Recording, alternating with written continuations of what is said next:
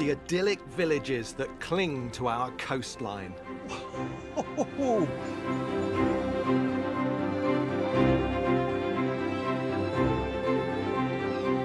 Known for their beauty and serenity. Wow, look at this, just incredible.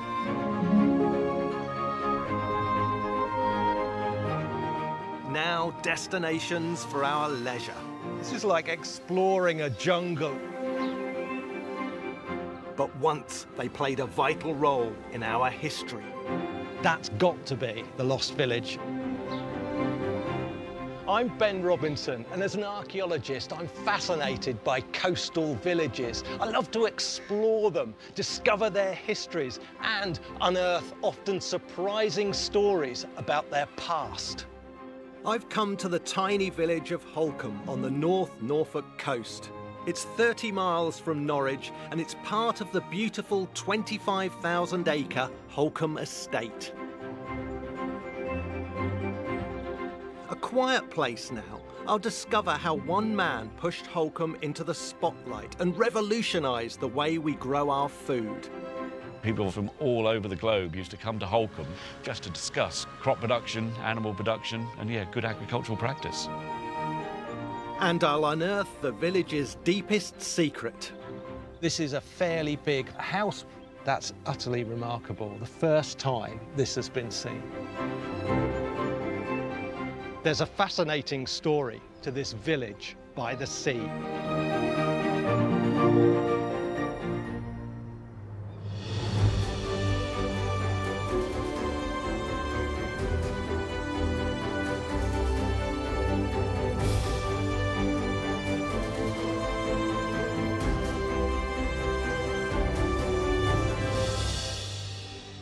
Holkham Estate has a stunning beach, beautiful parkland, a magnificent hall.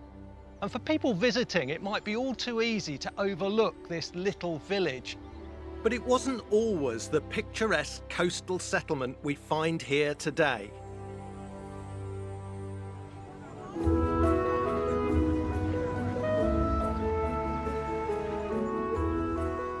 Holkham Village is currently home to around 250 people.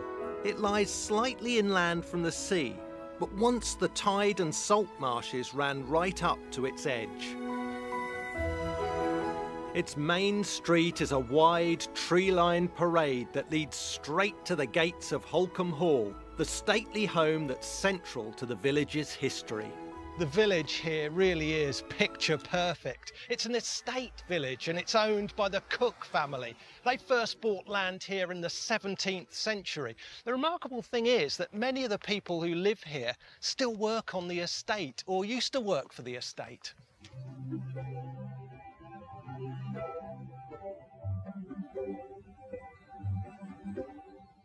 All the homes in Holkham are rented from the estate, which has been owned by the Coke family since 1609. But looking around, the houses are definitely not from that era, and I'm struck by how smart and similar they are. There's a certain uniformity. The same house design is replicated several times. And then there's a common colour scheme. You see that nice light green colour as well. But also, it's the attention to detail. I was just looking at this wall. The coping on here is moulded. It's a lovely fine wall extending right down the street. How many average village streets have walls like this?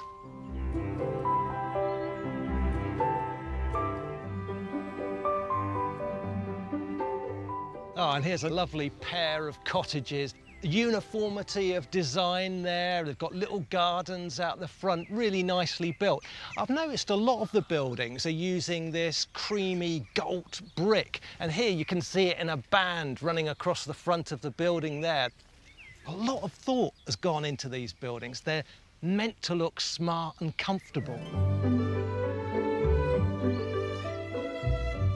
Many of the houses seem to have been built in the 1800s. But one on the edge of the village has caught my eye. This building looks very old indeed. See that little window there, that mullioned window with its brick hood, and you can see it was matched on the other side by another one. There was a pair of little windows there right in this gable end. And also, look at the construction here. This gable is built of flint pebbles, maybe just beach pebbles. They're laid in neat courses. And then if you look up towards the apex of the roof there, you can see the flint rubble goes up and up and up and then stops. The whole thing has been heightened and rebuilt in red brick. This older building has clearly been remodelled over different periods of time, and there's further evidence of this. The porch looks like another early part of the building as well. That square hood mould or drip mould, very characteristic of the 16th, 17th century. But the rest of the building, I can tell that's later brickwork. This is all a big 19th century revamp. Nevertheless, the core of the building is certainly early. And as a 17th century building, this is the earliest building in the village I've seen. The ancient house, as this place is known, is now part of the village hotel. But in recent years, it's also been a post office, cafe, and art gallery. And there's one space inside which should reveal more about its past the loft.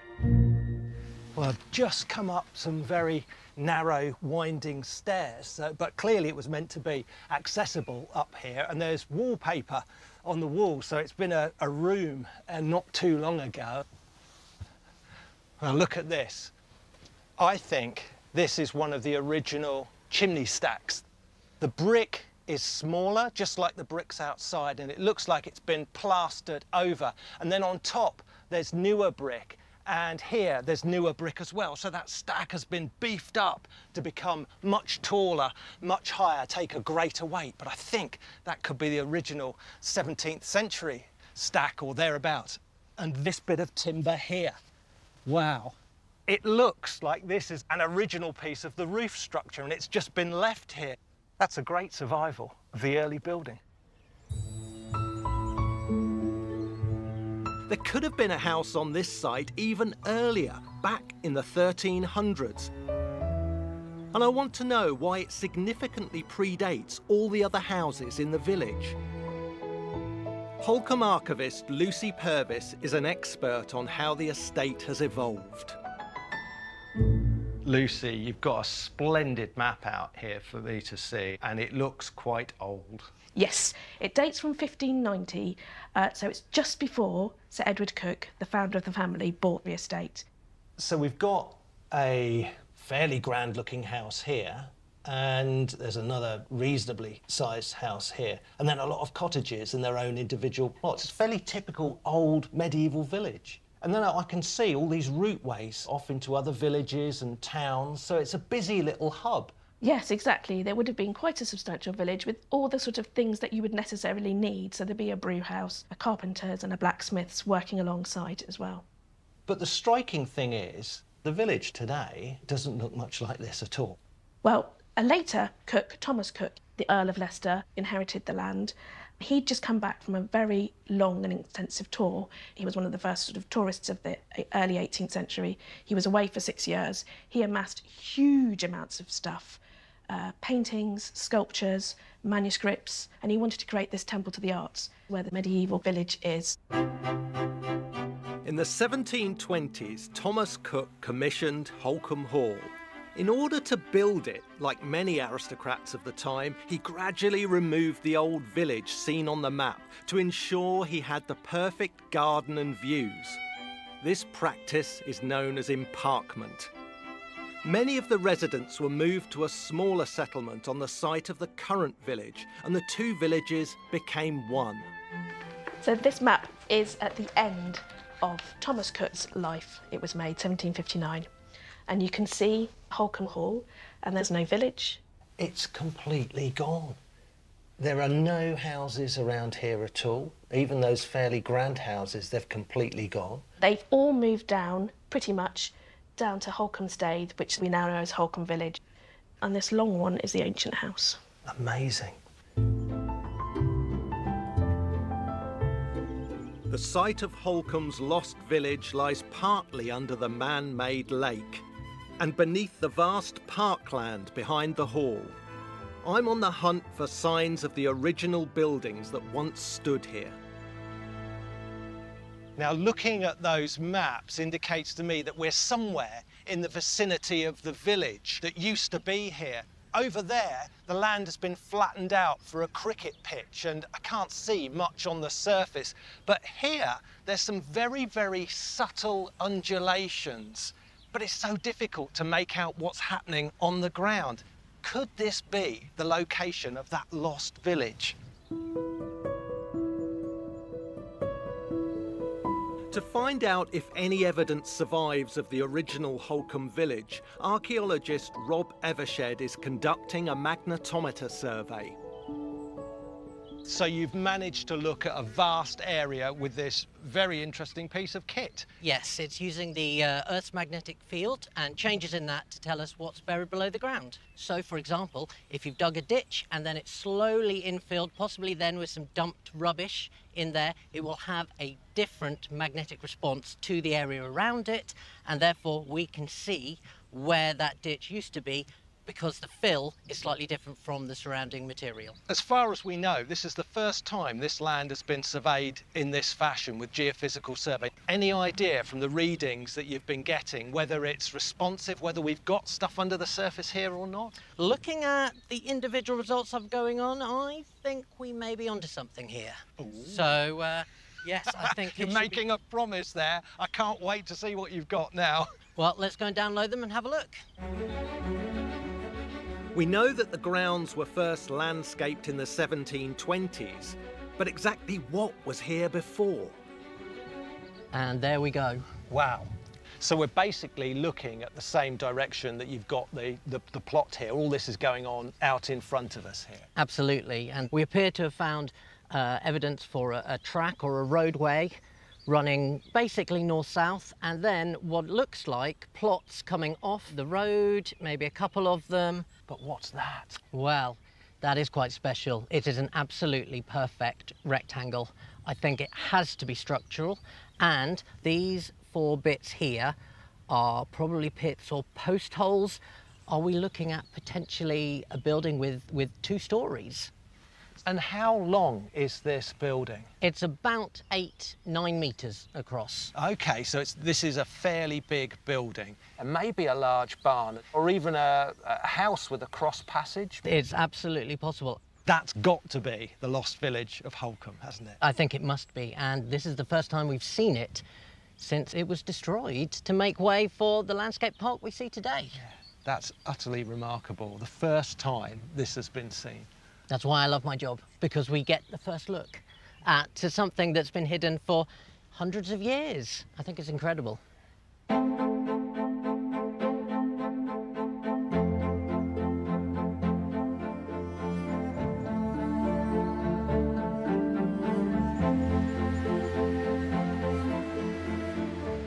In the 1720s, Thomas Coke began to develop existing properties in what was now Holkham Village.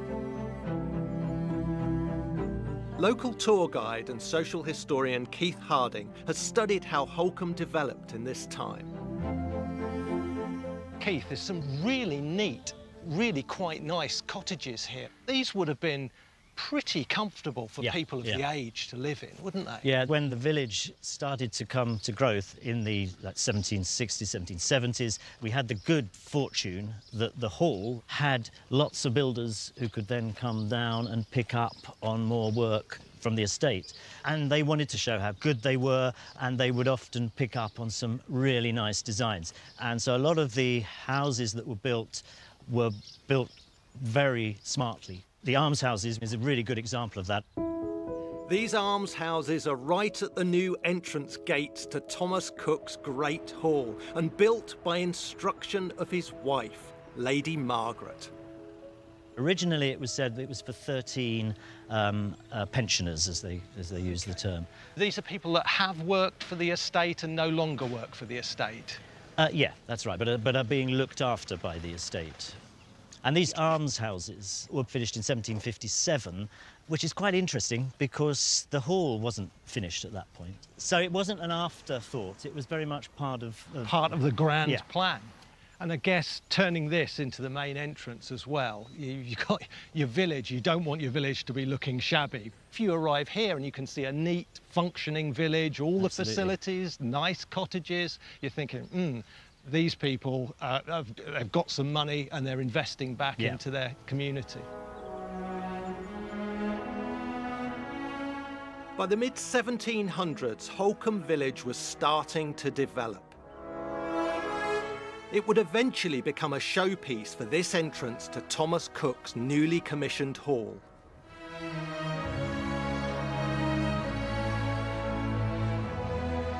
Inspired by his travels overseas, he wanted something similar in style to the magnificent buildings he'd seen in Italy. This is one of the finest examples of Palladian architecture anywhere in the country, and it follows the principles of the Venetian architect Andrea Palladio. And he was living in the 16th century, but looking back to ancient Rome for inspiration. His ideas were picked up in this country at the end of the 17th century into the 18th century. They were looking for this purity of design, the symmetry of it all, as well as being impressive. Look at that great triangular pediment. It's suspended on these huge Corinthian columns with their foliage there and the capitals at the top. The whole thing looks like the front of a massive Roman temple.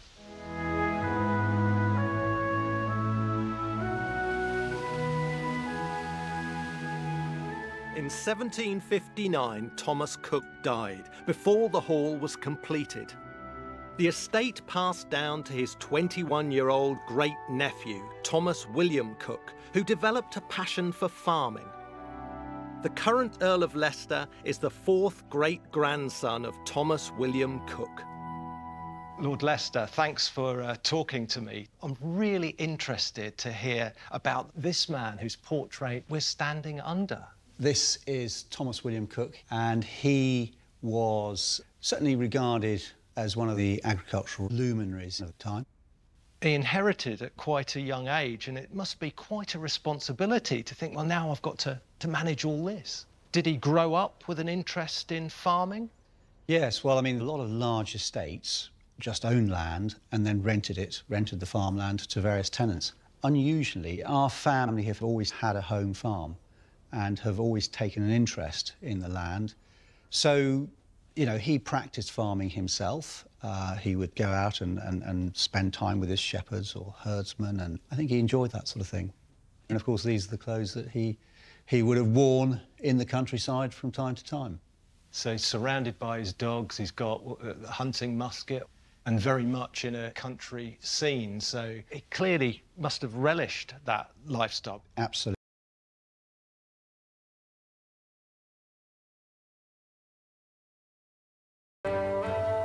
By the late 1700s, Thomas William Coke's love of farming meant that Holkham Village found itself at the heart of a revolution. The nation's rapidly expanding population needed to be fed, and existing farming methods couldn't keep up. Growing the same crops in the same fields each year stripped the soil of nutrients. Thomas William Coke started to experiment with new ideas on crop rotation. The system he helped to develop is considered the beginning of modern day farming. Professor John Martin is an expert on the history of agriculture. So, how does this new crop rotation actually work? The Norfolk four course rotation tended to be a four year rotation where wheat uh, was followed by turnips. Afterwards, uh, a crop of barley is grown and that's seeded down uh, with either clover uh, or um, grass in order to provide fodder for the livestock. What does that actually do for productivity? Well, it increases it very substantially because if you eliminate the fallow year where you'd left the soil uh, without a crop, uh, you've got more years when, it, when it's growing a crop. More importantly, um, you've got crops which restore the fertility of the soil. For example, turnips are being fed to uh, sheep. Presumably, the sheep are eating the, the stuff, pooping it out, and you've got ready made manure on yeah, as well. in a similar way, uh, when you were growing um, uh, clover, it increased the nitrogen content of the soil. That's quite an innovation. These types of cutting edge farming techniques became part of the agricultural revolution, a national movement using scientific thought to help increase food production. And Thomas William Coke, he's at the centre of things. That's very true. He, he was certainly uh, an agricultural pioneer.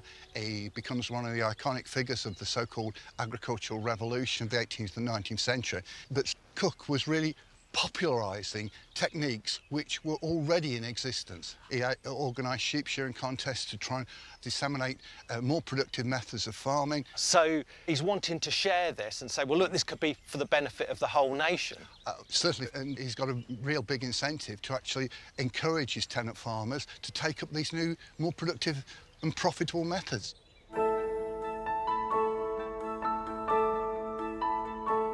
In the 1790s, Holkham Village continued to expand, now housing the estate workers who powered this national revolution. Its trailblazing sheep shearing shows were also putting it on the agricultural map. And this huge barn sitting right in the middle of the park was where this popular annual event took place.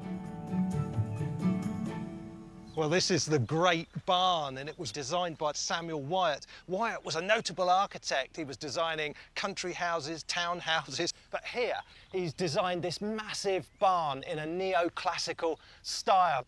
You can see the triangular pediment there above these huge porches, but it also had to function as a barn. And these huge cart entrances lead to threshing floors. And this is where the grain would be separated from the ears and the stalks.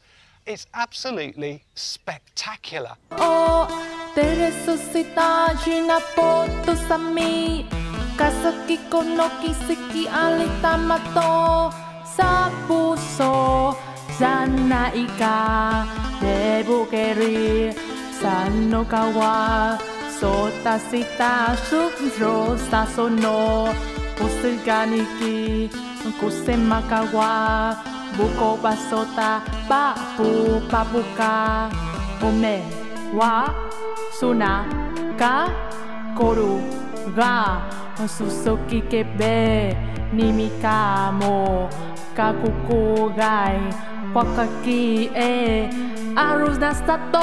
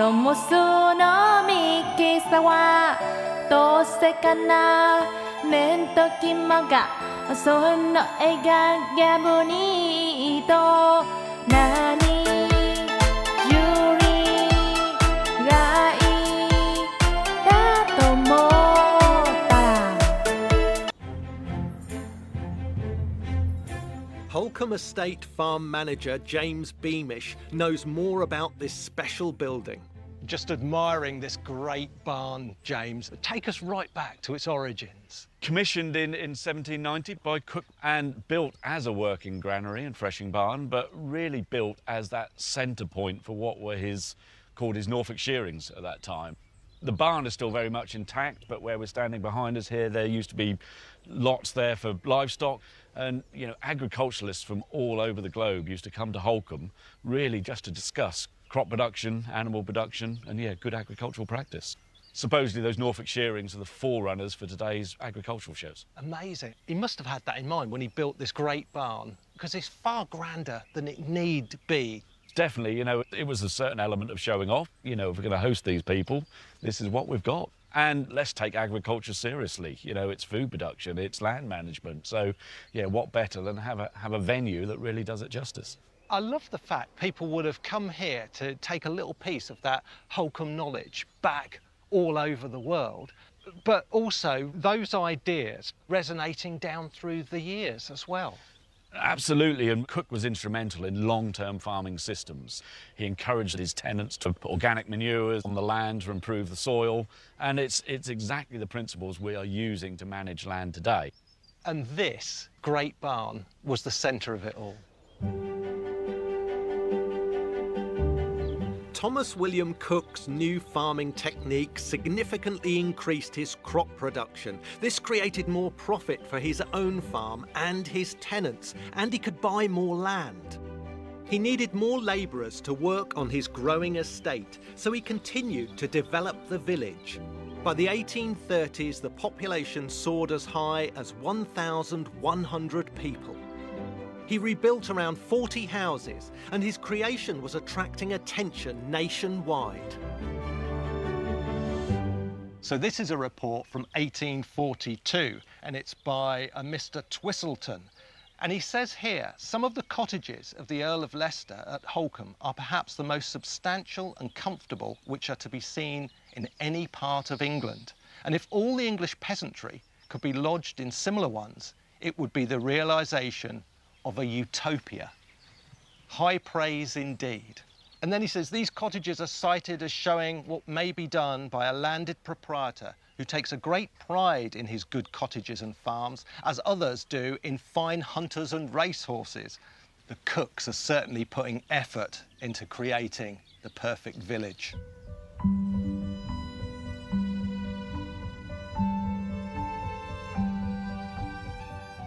This is a great example of one of the smartly built homes that would have housed a vital estate worker, from woodsmen to farm labourers to shopkeepers.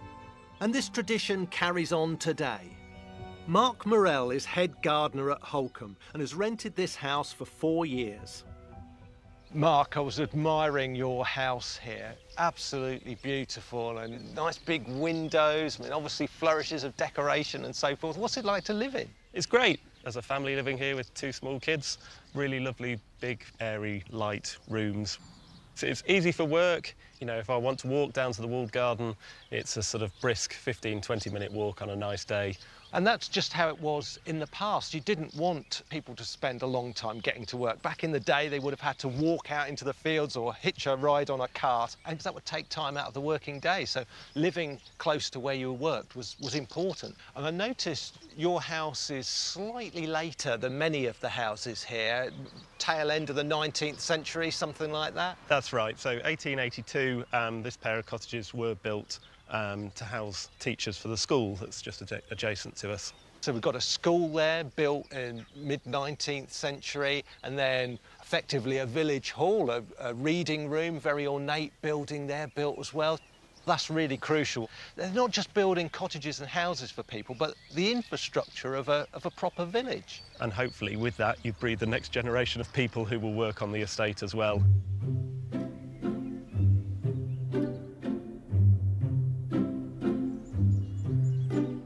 Coke successfully created a beautiful and comfortable estate village for their workers to live in, and the estate is still helping to lead the way in land management techniques. Head of Conservation Jake Fiennes oversees the experimental environmental projects at Holkham, including natural improvements to farmland. Jake, how does it feel to be part of this long history of managing the landscape here, right back to Thomas William Coke and before. I feel immensely proud that I can be part of the history of Holkham. Holkham is ever challenging itself. It's also trying to inform and influence others, something that it did 200 years ago by bringing farmers from around the world to look at best practice. And hopefully Holkham is still carrying on that legacy for the future generations.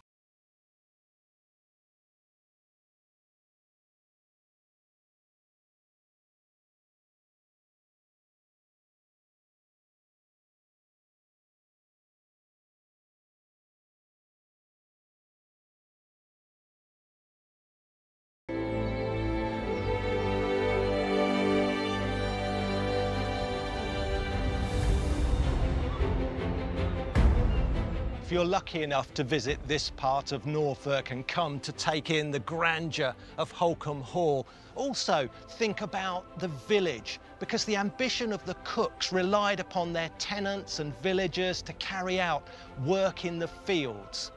Now, they didn't know it at the time, but they were playing an important part in our nation's history, and in many ways, they helped to revolutionise the way we live.